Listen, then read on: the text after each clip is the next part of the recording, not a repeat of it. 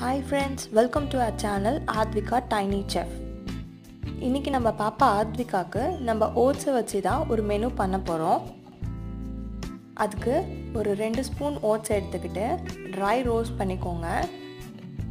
கொஞ்சமாக எடுத்துக்கோங்க. ஓட்ஸ் வந்து நிறையா எடுத்திங்கன்னா நிறையா வந்துடும் சாப்பிட முடியாது திக்காக இருக்கும் வேறு. ரோஸ்ட் லேஸாக ரோஸ்ட் பண்ணிக்கோங்க.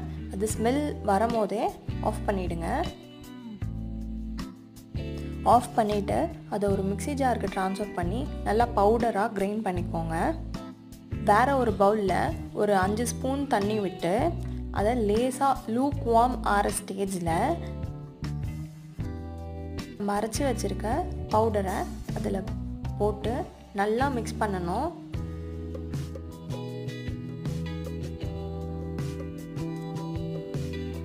ஓட்ஸ் வேகிறதுக்கு ஒரு ஃபைவ் டு சிக்ஸ் மினிட்ஸ் ஆகும். நல்லா கலக்கிட்டே இருங்க.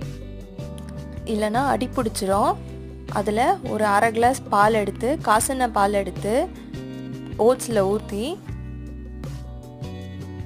நல்லா மிக்ஸ் பண்ணிகிட்டே இருங்க. சிம்மில் வச்சு பண்ணுங்கள் எப்போவுமே பண்ணும் போது. ஓட்ஸ் வந்து ரொம்ப நல்லது குழந்தைங்களுக்கு.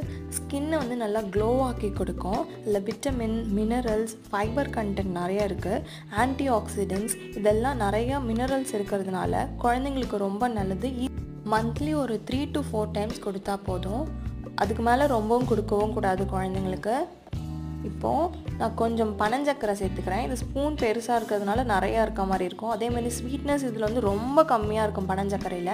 நீங்கள் பனை வெல்லம் பனஞ்சக்கரை ஹனி கூட யூஸ் பண்ணிக்கலாம். நல்லா மிக்ஸ் பண்ணிக்கோங்க. ஆஃப் பண்ணிவிட்டு மிக்ஸ் பண்ணிக்கோங்க.